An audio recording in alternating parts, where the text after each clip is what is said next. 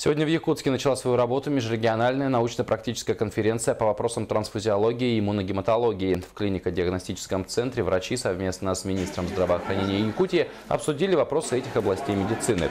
В целях исполнения указа главы республики в, респу... в Якутии продолжает развиваться высокотехнологичная медицинская помощь. Ее оказывают уже 7 лечебных учреждений по 19 профилям и 185 видам. Сегодня перед якутскими врачами стоит задача по расширению спектра оперативных вмешательств и лечения всех больных невозможно без донорской крови. Благодаря службе крови наше население получает высококвалифицированную медицинскую помощь и качественное медицинское обслуживание.